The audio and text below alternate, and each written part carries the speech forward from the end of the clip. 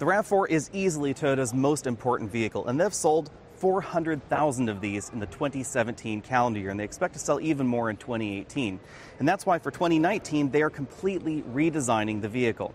Toyota decided to give us two distinctive front ends depending on the trim level that you get.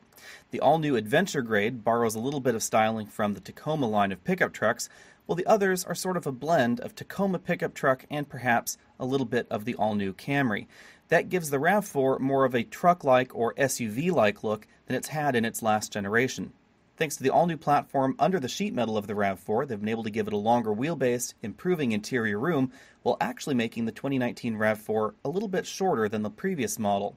As you move to the back of the RAV4, you get a little bit of Volvo XC40 in the overall design, partially thanks to that two tone roof option that the model you're looking at has, and of course, it's the overall rear profile of the RAV4. We're still waiting on Toyota to release many of the RAV4 specifications. However, the cargo area still looks large for this segment, which has always been a strong selling point of the RAV4, and under the load floor, we still have a spare tire.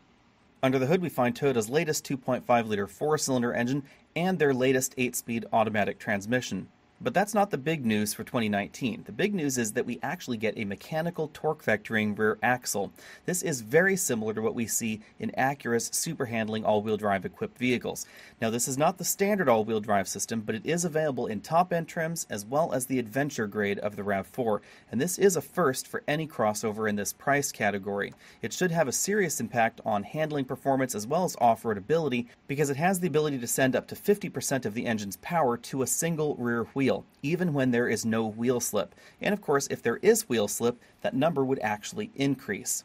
The hybrid system features a more powerful rear electric motor, and the system will use that rear electric motor across a wider range of driving situations. Power figures have yet to be announced, but expect the base engine to be around 200 horsepower, more than most of the competition's base engines, and the redesigned hybrid system is likely to be in the 210 to 220 horsepower range. Like the new Corolla hatchback, the RAV4 gets Toyota's new bundle of active safety tech called Toyota Safety Sense 2.0.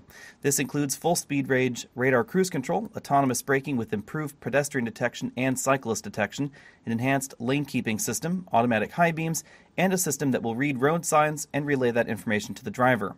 Expect the new RAV4 to hit dealers late in 2018, with the hybrid following sometime in early 2019. Be sure and let me know what you think about the overall look of the new 2019 RAV4 down there in the comments section below.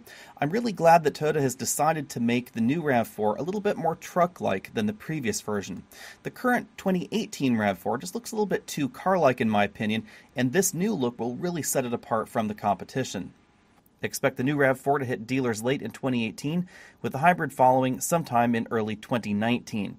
That means that we should know more about how the RAV4 is priced later in the 2018 calendar year.